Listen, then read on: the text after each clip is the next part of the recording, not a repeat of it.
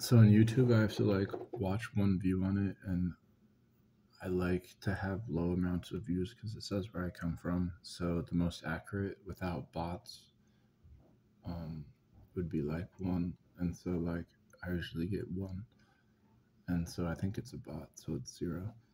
So if I click on that video, it's gonna be one view to view it, but I can't put it on Facebook or my computer because the disk space is dirty and it takes time to put on Facebook, so I don't want to.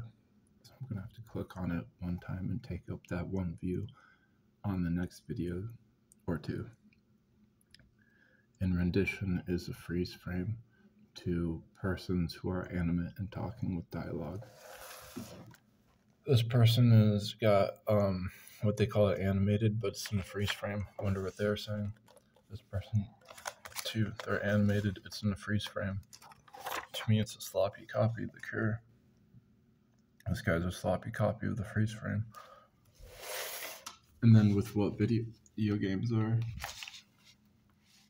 and then cartoon drawings um, have always been around, but this looks like it's a cross between what a video game would be, and just keep racking up the felonies. But this is trying to put over the fact that he was um, getting them. So that's what South Park does. They cover up names. That's got that. Uh, side note: This guy wanted to buy me a drink inside of a bottle store, so the teller checked me out so quickly that um, he wasn't able to, but he was with the um, delivery. Aside from like um, being animated in freeze frames, it's delivery. So his delivery was that he wanted to buy me my drink, and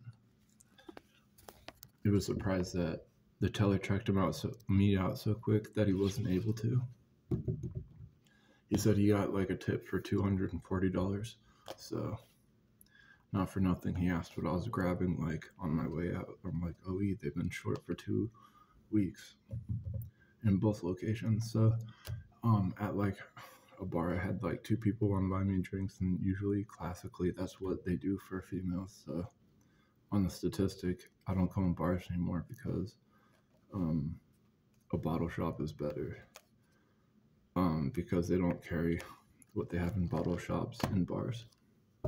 So subjectively, this guy is the tally mark for the third, where I can walk into a bar and then have a person say, "I'll buy you one," and have it be like a guy.